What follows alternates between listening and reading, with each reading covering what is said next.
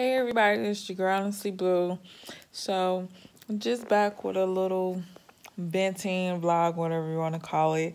Um, so basically, um, I'm talking about people who love to keep my name in their mouth. Also, those of you who have situations where people love to keep your name in their mouth, or the baby mamas and baby daddies who, if you don't want to be with me, then you can't be with nobody else, or I need to control who you talk to. Get the fuck out of here, my nigga period. You don't want to be with me, then you can't see your kid and all the unnecessary drama that nobody wants to be bothered with point blank period. Now, me personally, I, I don't bother people. I stay to myself. This is why I don't have too many friends either because I don't have time for drama. If you're not going to be positive, fine.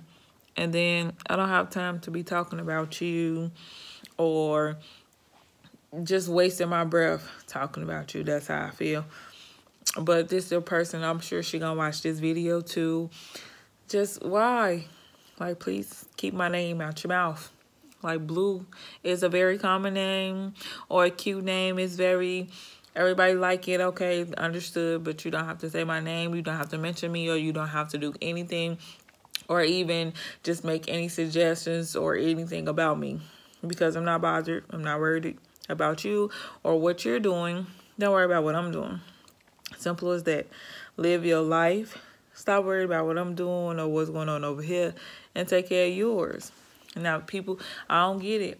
Like when kids are involved in situations, just do what's best for your child. Don't worry about the next person. Simple as that. If your child is taken care of, let your child be taken care of. If you don't, then that's not my problem at all. Simple as that. If I bother you that much, like just forget about me. Simple as that.